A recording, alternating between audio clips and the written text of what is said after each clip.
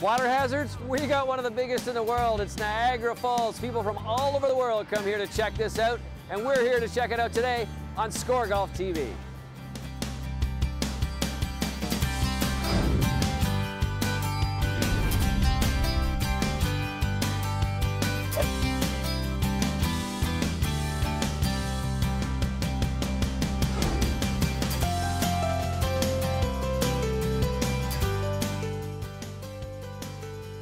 Is Score Golf, the voice of Canadian golf. Score Golf is brought to you by Molson Canadian 67, official beer of the PGA of Canada, RBC Canadian Open, and Canadian Women's Open. TaylorMade golf, the number one driver in golf. Tourism Kelowna, 20 courses from easygoing to ego shattering. Now, here's your host, Bob Weeks. Hi, everybody. Welcome to Score Golf TV. Well, for centuries, people have been coming to Niagara to look at water pouring over a cliff. Sounds exciting, doesn't it? Well, it is. It's, of course, one of the true wonders of the world, Niagara Falls. But these days, people are coming for a lot of other reasons, too. And one of the main ones is golf. This place has exploded into one of Canada's top golf destinations. There's all sorts of great courses to play. And right here today, we're at one called Grand Niagara. It is one of the best in this region, designed by Rees Jones. And it's been only been open seven or eight years now, but it's already gained a reputation as a solid golf test. We're going to show you that golf course a little bit later in the program. We're also going to take you around Niagara Falls and show you some of the great things that they have to do down there, including the wineries, and of course, take you down and show you the falls itself. But right now, we want to get things started with a little chat with some PGA Tour pros. Prospective, meeting today's PGA Tour stars. In Score Golf's 2013 spring issue, we featured an extensive look at the 50 greatest things about golf. From the natural talent displayed by players such as Graham DeLaet to the sheer power of swings from super freaks like Jamie Sadlowski. There's the youthful exuberance currently spreading through the sport from the likes of Rory McIlroy and Rickie Fowler, and also the breathtaking scenery all across our picturesque nation. Of course, since each golfer out there has his or her own opinion on what makes this game so great, here are some PGA Tour pros sharing their thoughts on the greatest things about golf. Greatest thing about golf, uh, you get to come to uh, beautiful parts of the world. Um, you know, every every country you play golf in, every state you play golf in, every city, um, there's something special about it. You know, and you get to travel and uh, and see beauty like this, like what's behind me. You know, it's pretty nice. Uh, it's uh, it's a great setting. Um, you're going to have good days and bad days. You're going to have bad weather, windy conditions, rainy conditions, but uh, but in all, 90% of it's really good. Well, you know, the game of a game of golf is uh, is great. It's in any country pretty much. You can play it. Um, you can play it most days of the year, anywhere in the world. Uh, it's a great game, um, you know, and, and, the thing about the game is it's very much a, a gentleman's game. You know, uh, there's good respect for your, your, for your fellow guys you're playing against. At the end of the day, it's just you and that little golf ball out there that got to try and get in the hole as, uh, as as few shots as possible, and it's got absolutely nothing to do with your playing partner unless you play a better ball. But uh, um, so it, I think the great thing about golf is the respect and uh, and uh, um, you know how true the game is. You know, there's there's no hooliganism and anything like that. It's it's just a great game. It's, it's many aspects of great, just as you said. I mean, it's, it's me against the course and, and against the elements. And uh, uh, but the one thing I really like, and I think is very very important to protect, is that we all, all golfers in the world are playing under the same set of rules. It, it's very very important, and uh, it makes it uh, uh, so I can play here with the um, with the uh, amateurs on, on the same same terms, and that's that's a very very strong thing for us as golfers. And makes it easier for, for the fans to connect with us. I guess for me, um, I'm, I'm doing something that I love doing. Um, I love the game of golf and to say, you know, what, what's, what do you do for a living? My living is playing golf. You know, I think it's um, quite amazing. But uh, yeah, obviously, um, along with that, the, the charitable aspect um, that comes with golf. Obviously, in, on the PJ Tour, there are some fantastic charities that uh, the PJ Tour support. So uh, anytime you can uh, you can give back to local communities is obviously uh, something that you want to be a part of. I think there's a, there's a lot of good things, and that's the good thing about the game. Like there's, there's obviously the battle with yourself. You think you've got the game down, and you, know, you, you win a tournament, and then um, a week later it can just bite you and you think you can't play, you you know, you think you'll never shoot under par again. Um, that's a good part about it. Obviously the charity aspect of the PGA Tour with how much money they donate to, to great causes, that's a, that's a good thing. Um, getting to travel, getting to do what we love um, for our job is, is good. So when there's so many good things, obviously there's you know good things and bad things about every job, but, but those are the best things. Raising 21 million for my, my uh, Challenge Cancer Support Network uh, for 21 years. Um, that's you know pretty pretty awesome feat. You know, it's been a great event for, for 21 years and uh, you know, Challenge Cancer Support Network, who we look after these kids and have a great team and you know, I've had a good career up to date. You know, I could, I want to perform better in majors and I want to win more tournaments on the US Tour and um, but, uh, but definitely raising all that money for, for kids with cancer is definitely the greatest feat that I've ever done. Coming up after the break, we'll visit the beautiful Rees Jones designed Grand Niagara Golf Club.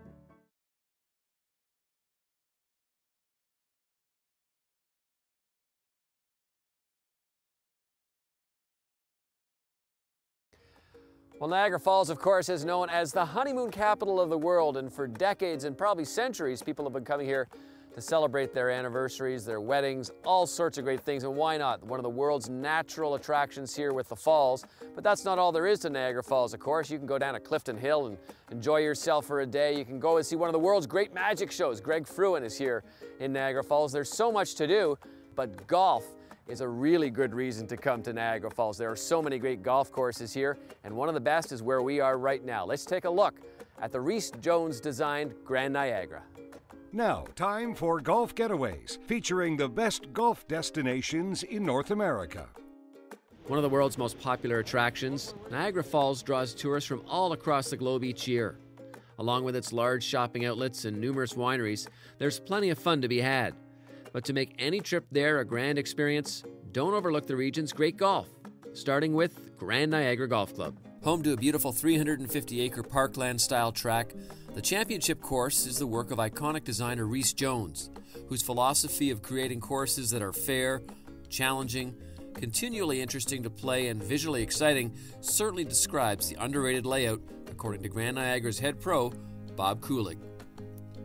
Part of his design allows people to play what's in front of them. Uh, we have a lot of trouble on the golf course, but we tend to say it's always on the outside. Uh, a course that allows you or the golfer not to be too greedy you know, and pretty good chance to get it around, get it in the hole, and uh, leave here with a smile on your face. It's got an ebb and flow. Every hole has a different character. It's low profile. It's a neoclassic design. It's old style look, ready for the modern player and the modern equipment. I shouldn't. I, I hope every person in the foursome has a different favorite hole. Uh, that's how it was designed. Stretching out to nearly 7,500 yards, the eight year old course at Grand Niagara is one of only two original Jones designs in Canada. Nestled alongside the Welland River, it offers a fun and unique round of 18 holes, which Kulig says sees more than just a local crowd. It's a pretty neat drawing card for us, and a lot of our clientele will hail from all points, and it's very interesting to see that there is a, a Rees Jones following out there. We'll cater to clients that make it their uh, time to try to get to as many Rees Jones courses as possible. Those visitors will find Grand Niagara to be a course that fits the contours of the land it sits on, with rolling fairways that provide wide landing zones and manageable rough and fescue for offline shots. I felt very fortunate uh, to be asked to design the Grand Niagara course because it uh, had probably one of the better sites in the whole area. It was next to the Welland River. We had some wooded holes, we had a lot of open holes, had a little topography, a little nice flow to it. Uh, so I knew that we could build a uh, very, very enjoyable championship type golf course. Jones' goal of striking a fair balance between playability and challenge was a difficult one, but Grand Niagara certainly meets it. Well, at Grand Niagara, we really designed the course for the uh, everyday player. We have multiple tees that everybody can find a comfortable challenge. It wasn't designed uh, to be hard, it's really designed to be enjoyed and challenged and uh, actually have, have an opportunity to have a good score. Based on the, uh, the yardage that you want to play it from, you know, it plays to your strengths, plays to your abilities. Certainly, I think this golf course uh, challenges everybody that comes out here. And the difficulty, obviously, uh, some of the ponds and the fescue can be a little gnarly, but uh, we do find people can get in and find the ball in the fescue and advance and probably make a shot into the green. And uh, that's all anybody wants in golf, I think. Approaching those greens, golfers will notice a consistent theme that plays out around the course elevated putting surfaces. It's a subtle design detail that adds a touch of difficulty. The one neat factor uh, in terms of how this place has been set up has to do with much of the greens complexes are all raised. You know, it's one spot that you've got to put a little bit of air underneath the ball at all times. You cannot hit a lot of bump and run shots into these greens. He's asking you to fly the ball into the hole. You'll be, probably be better off for it. Under sunny skies, you'd be hard pressed to find a better conditioned golf course than this track. The layout features a steady diet of sand traps, while the greens are consistently in immaculate form. Our goal is to provide the best possible playing conditions every day. Doesn't matter if we have 20 people here or we have 220 people here, we want to provide the same experience for them. And to that end, we try and have our greens not crazy fast, but consistent. Uh, we try and have the best uh, again, championship conditions that we can provide our, our members and guests. Probably one of the biggest uh, issues we have is, is trying to maintain the bunkers because there's a lot of sand on this property. Grand Niagara's signature holes begin at number 5 with a 360 yard par 4. Fairway bunkers and a creek intersecting the fairway make accuracy off the tee a premium. One of those elevated greens and a pair of nasty bunkers cap off a challenging but nicely laid out hole. Number five, good par four when you cross the road at Grand Niagara, a little uh, dogleg to the left, but one that you want to be able to put uh, an emphasis on your drive. You want to be able to get the ball in a good position just down towards the pond, looking into a green that has some pretty good elevation to it.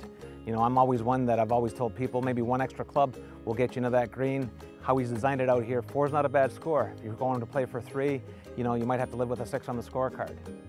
A lengthy par three comes next. Distance control and solid shot making are vital here on the sixth with plenty of carry needed to land on the two tiered green that's protected by a large and deep front bunker. Uh, number six, another great hole that he's designed out here. I know from the championship tees it measures close to 240 yards, a strong par three. Probably the only spot on our golf course with any forced carry. But at the same time, you've got to use your knowledge out here. Get it in the right spot based on pin position, and like a lot of places, par's not a bad score. The back nine at Grand Niagara is highlighted by the picturesque par 4 16th. It features a wide fairway for big drives, but is also guarded by a sizable sand trap for any misses to the right. Another elevated green challenges your approach and tests your chance at a birdie. 16, just a good uh, strong par 4, uh, very rewarding, easy fairway to hit into with a green that sets nice and high to the right, so it is somewhat of a, a slight dogleg par 4 to the right. And uh, again, guarded with a, a good sized bunker on the left hand side, another elevated green, the experience at Grand Niagara doesn't end once you wrap up your round. Playing a high quality course for under $100 leaves your wallet with plenty left over for any of the other activities located nearby. Grand Niagara is just minutes away from the downtown tourist attractions to keep the fun going once the sun goes down. The club holds several tourism partners with a variety of stay and play packages to suit your interests.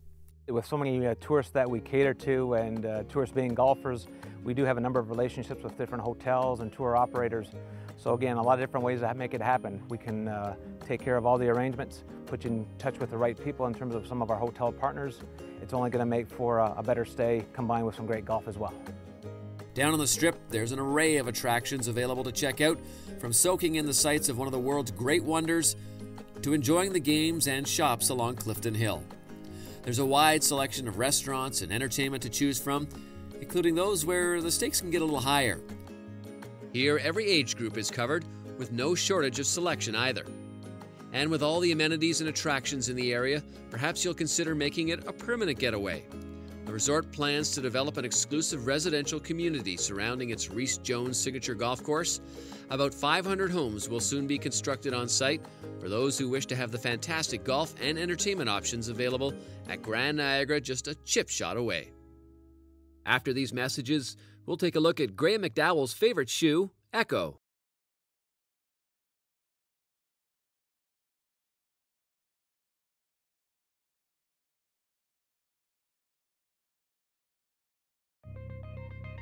The Technology Report, a look at the science, research, and development of the game. For 2013, ECCO is asking, which hybrid are you? Following in the footsteps of its previous shoe releases, ECCO continues to take the path less traveled. Successful launches of the Golf Street and BIOM hybrid offerings have drawn the praise of amateur and professional golfers alike. I've been wearing uh, ECCOs for a couple of seasons now. Um, great shoes. I mean, obviously, uh, been very familiar with them most of my career. They're you know, one of the largest shoe brands in the world and uh, they're, they're, the golf side of the company is very impressive. You know, they're certainly at the cutting edge of uh, yeah, the street shoe vibe that everyone likes to wear these days. And uh, you know, I uh, I've really enjoyed wearing their shoes the last couple of years. I mean, I certainly love a pair of shoes that I can pull out of the box, uh, brand new, uh, and put on my put on my feet and walk 18 holes and, and, and still feel okay when I come come in in the afternoon. So, what can consumers expect this year? New on store shelves is the Tour Hybrid footwear line. The Tour Hybrid's design combines ECCO's latest BIOM technology with a more classic golf shoe look. Part of our challenge was uh, some of the more formal classic guys like a Graeme McDowell. He liked BIOM Hybrid. He wore it a lot in practice rounds, but in competition, he wanted to look down Thursday through Sunday at something that was traditional you know, I try to dress quite classically and quite traditionally on the golf course, and, and of course we're wearing trousers on the PGA Tour. So I like a golf, I like a golf shoe a little bit more of a classic look to it. You know, the wingtip, uh, you know, the nice, um, the nice kind of kind of colourful saddles, and the more classical look. So yeah, I'll be uh, probably sticking uh, to, to, that general vibe. I mean, I love the BIOM hybrids, but they are much much more of a casual shoe and a great one to throw on with a pair of shorts. The shoe's upper design comes in traditional dress shoe or country club styles. Equipped with ECCO's hybrid technology, the shoe combines a leather lined insole and the outsole of one of the company's most comfortable designs, the revamped BIOM Hybrid. After debuting last year, the 2013 model returns with an aim towards reducing injuries and soreness sustained on the golf course, all from the ground up. So, with the BIOM Hybrid, it just gives it more of a sporty look. It's a natural motion shoe, and it basically is a shoe that's designed to allow the foot to move naturally. So you're landing more towards the arch, the middle of the shoe, versus the, the uh, actual heel. And what that does over time, it promotes strengthening in a lot of the, uh, the feet, the lower legs, and decreases the likelihood of injury. While the primary genius of ECCO footwear may be the research and technology integrated into its design, perhaps the most underrated quality is how easily it translates to every step of your daily routine. They have really uh, led the way when it came to the more casual street shoe. Um, you know, seeing that win the Players Championship this year, um, you know, the, the BIOM Hybrid, you know, what Freddie's done, uh, Fred Couples has done on the senior tour, really just kind of uh, bringing that casual, cool look to the game of golf. And, uh, you know, ECCO are really kind of, uh, uh, really make, make you know stamping their authority on, on world golf. pardon the pun, but um, they're a you know, great shoe brand, a great golf brand, and uh, hopefully the, their success continues. Teeing Up Team Canada, reviewing Canada's national golf program. Brought to you by RBC. Let us help you make your mark. In 2003, Golf Canada committed to producing the best amateur golfers in the world with its national and developmental squads. The program has shown significant signs of progress as it's graduated numerous talented tours all over North America. Graham DeLaet is the biggest name on the men's side, and he's now a fixture on the PGA Tour. Matt Hill won the NCAA individual title in 2009. That same year, he tied Tiger Woods' collegiate record of most wins in a single season with seven. Albin Choi is fresh off his final season with Team Canada, and he's already won five NCAA tournaments this year alone and has nine career victories in only his junior year at North Carolina State University. Eugene Wong won the Jack Nicklaus Award in 2010 as the top player in the NCAA, joining past winners such as Phil Mickelson, Tiger Woods, and Hunter Mahan. He's already won on the Canadian Tour, now known as PGA Tour Canada. On the women's side, Stephanie Sherlock and Rebecca Lee Bentham have graduated from the amateur team and find themselves on the LPGA Tour, both looking for their first wins. Meanwhile, Jennifer Kirby is an All American at the University of Alabama and helped the Tide win their first national championship in 2012 and Jisoo Keel will swing clubs at Tiger Woods' alma mater next season, Stanford. Stay tuned to Score Golf this summer as we'll get you face to face with the future stars of Canadian golf. When we return, we'll set you up with a tip to help you improve the tempo of your game.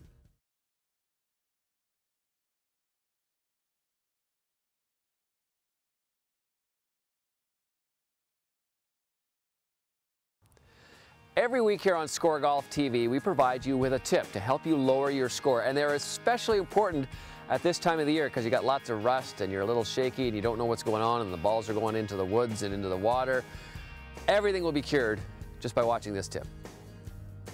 Play better golf. Lessons to help you improve your game.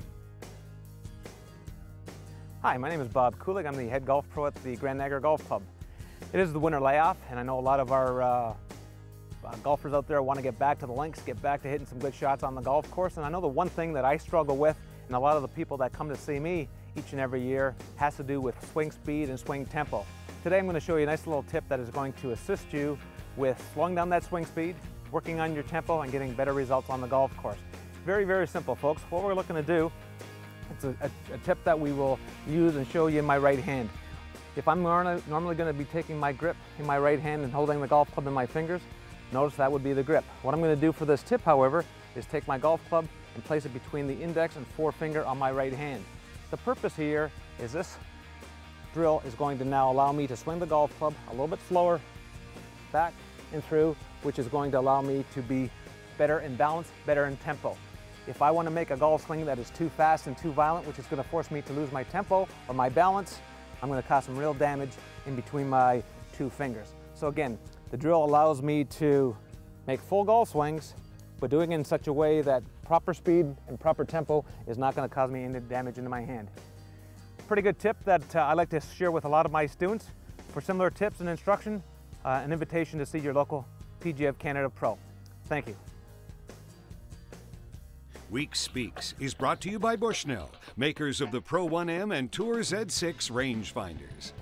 Folks, I know it's the early part of the season, you're just getting out there playing golf, but there's three things I want you to remember for the next time you go out and play golf, all right? And take this with you throughout the whole season. Number one, golf is a game. It's supposed to be fun. You're supposed to go out there and enjoy yourself. Listen, you go and you tell your boss you're in a meeting and you're actually out playing golf. You tell your spouse you're at Home Depot picking up wallpaper samples to do the bathroom and you're actually out playing golf. You work so hard to make up these little stories so you can go play golf. So come on, folks, enjoy it.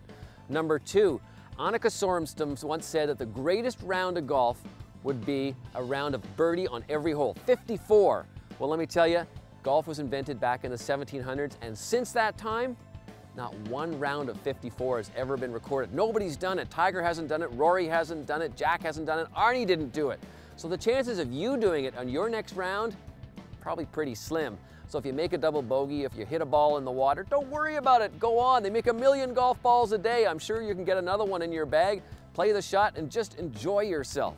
And number three, the third thing is golf is a lot like life. It's not fair. If life was fair, you wouldn't get pimples on your bum. If life was fair, I'd be living on a beach in Tahiti with Pamela Anderson. But golf's not fair, life's not fair. If you hit a ball in the middle of the fairway, it hits a mound and buries the lip of the bunker, who cares? So what? Just roll with it, folks. Enjoy your game. Have fun when you're playing golf, and you will enjoy your golf season a lot more. That's all the time we have for today on Score Golf TV. I want to thank everybody out here at Grand Niagara. This is a fabulous spot. Come on down and see the falls and play around the golf, and we'll see you next time on Score Golf TV. Thanks for watching Score Golf on TSN, the voice of Canadian golf. Score Golf is brought to you by Molson Canadian 67 official beer of the PGA of Canada, RBC Canadian Open, and Women's Canadian Open.